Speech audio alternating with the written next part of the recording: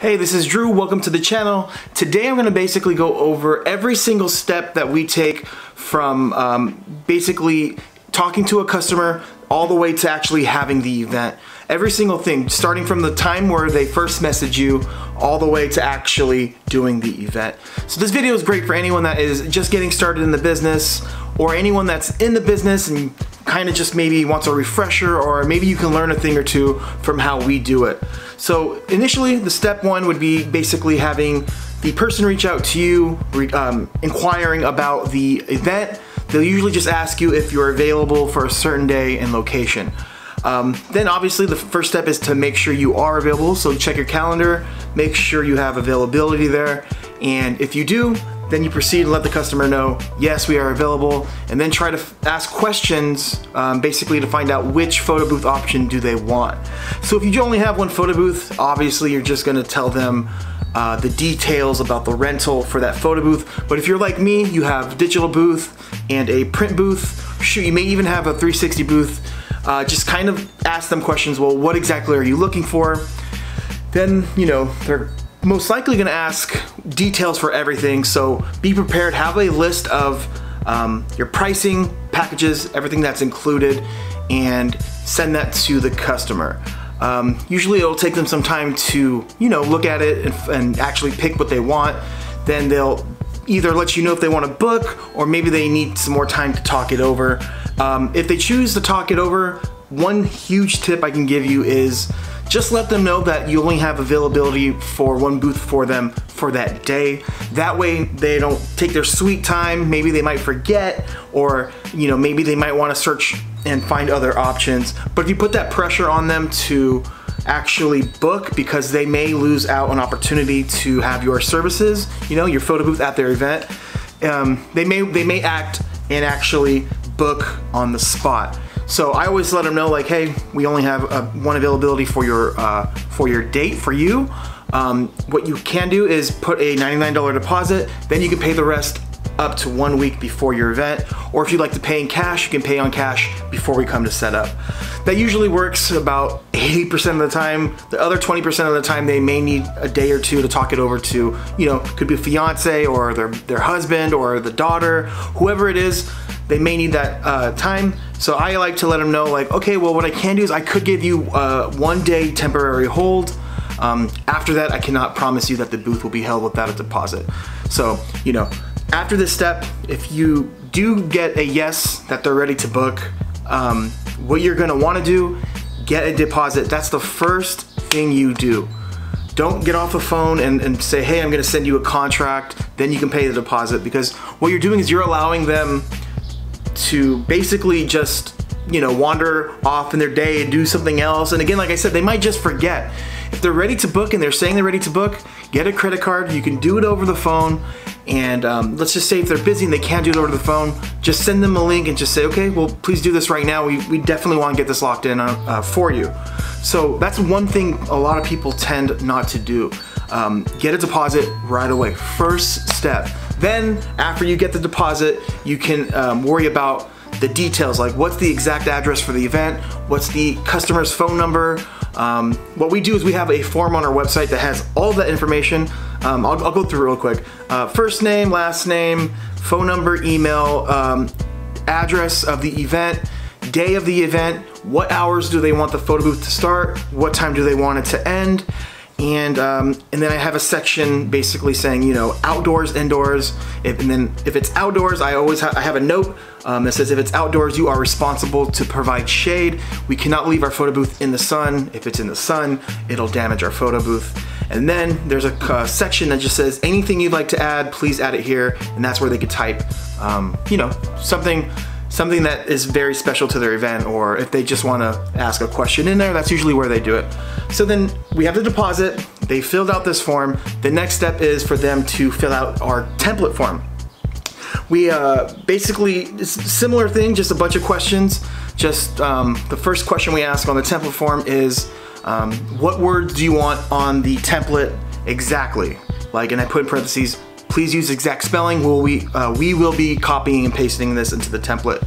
This is very important to put because oftentimes um, in the past before we actually did this people would tell us what they want um, they wanted added to their template but they would misspell something or maybe even sometimes put the wrong date and we would just copy and paste it so we ran into issues like literally I would say five times where they made a mistake but it kind of came back on us because they're like oh well why didn't you guys catch that like it's the wrong date but like didn't you know like the event is on on Saturday and the, that's yesterday's date.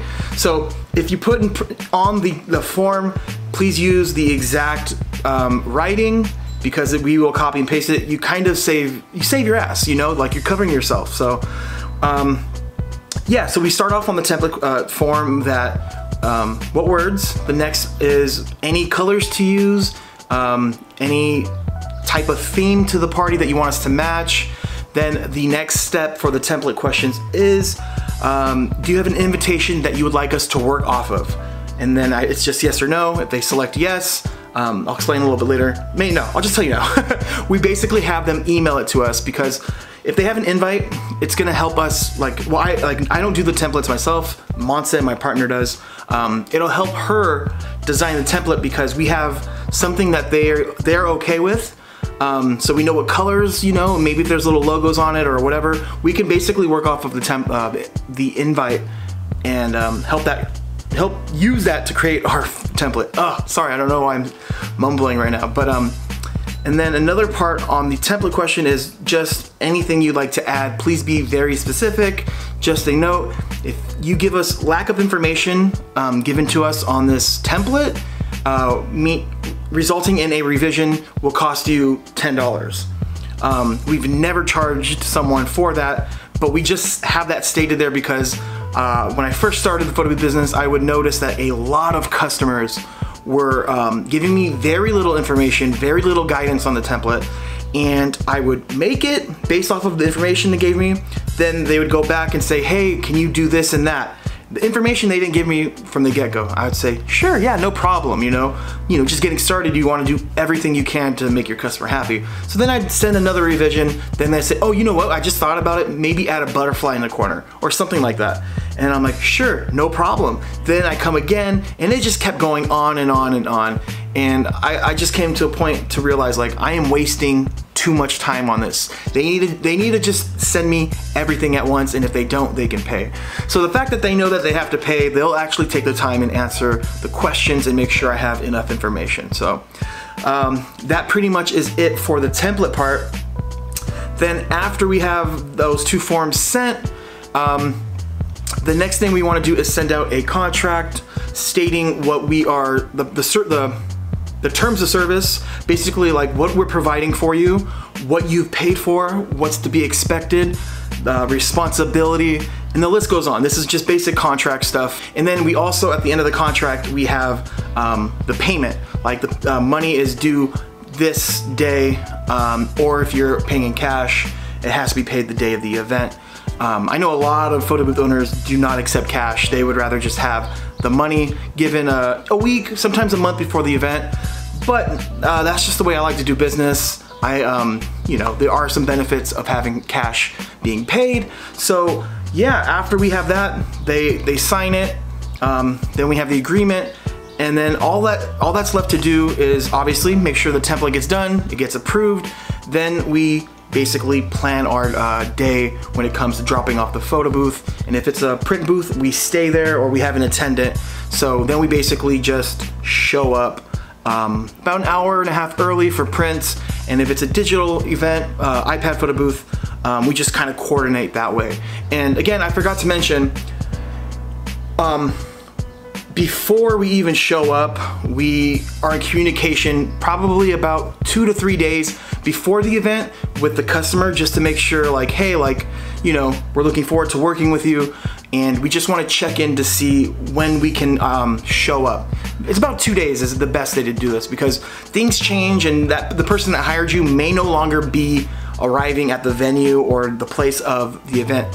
Um, on that time. They may not even be showing up at all. So, you know, I usually like to do that two days before just to reach out and just make sure like, hey, who's gonna be there when we show up? Uh, who's gonna pay us? Or all that stuff. So you gotta know that beforehand. So now we've talked about every single thing. You are at your event and that's it you know, all, all the prep work should be done. Your photo booth should be tested. I don't even think I need to mention that. The day before, you guys should have your equipment tested and ready, loaded up to go. So, um, you know, after an event, hopefully everything went well. I like to do a follow-up, um, usually about two days after the event. If it's a print booth, um, I like to send them a Google Drive with all the photos on it. That way, if they want to share it to their family friends, they can share it. Or if it's an iPad photo booth, I will send them uh, the link to their gallery, even though they should have that already. And then I just like to say thank you so much for hiring us. I hope you guys enjoyed the photo booth.